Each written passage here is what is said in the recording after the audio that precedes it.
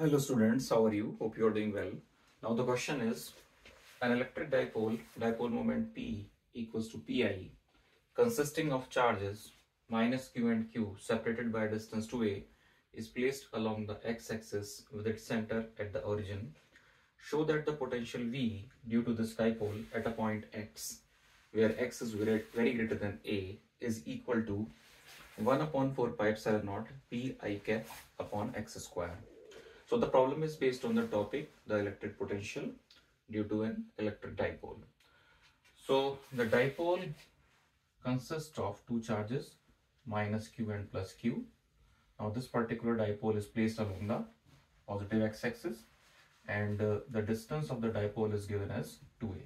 So this is 2a distance between the charges and uh, at the center of, from the center of the dipole at a distance of x there is a point suppose it is p at this particular point we have to calculate the potential so the basic concept used here is that the potential is calculated by this particular formula v equals to 1.4 pi epsilon naught q upon r where q is the charge and at a point p suppose we are calculating this particular potential which is at a distance of r. So this is the formula which we are using to solve this particular problem. And uh, since the potential is a scalar quantity, not a vector quantity, uh, only the respective sign is taken, not the direction. So we have to find out the individual potentials due to these respective charges and then add up algebraically.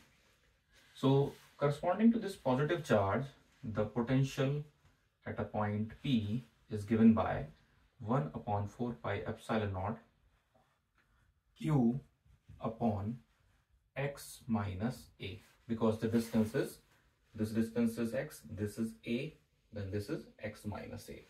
So this is 1 upon 4 pi epsilon naught q upon x minus a. Similarly we can calculate the potential at point p due to this particular negative charge. The distance of the point p with respect to this negative charge is x plus a. This is a, this is x. So the total distance is x plus a. So we get this value as 1 upon 4 pi epsilon naught minus q in brackets and x plus a.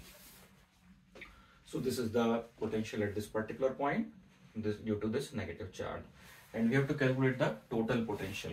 So the total potential is the algebraic sum of these two potentials. So we have to calculate the algebraic sum which is equal to V plus Q and V minus Q. So this value comes out to be 1 upon 4 pi epsilon naught. This is the common quantity and uh, Q is also a common quantity and we get this value as 1 upon x minus a minus 1 upon x plus a.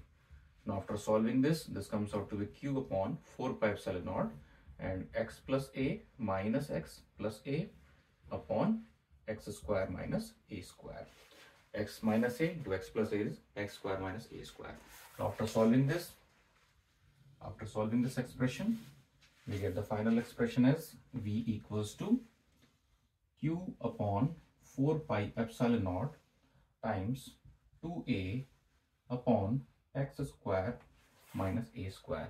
Now this q into 2a is nothing but the dipole moment. So in place of this q into 2a, we can put the value as p upon 4 pi epsilon naught x square minus a square.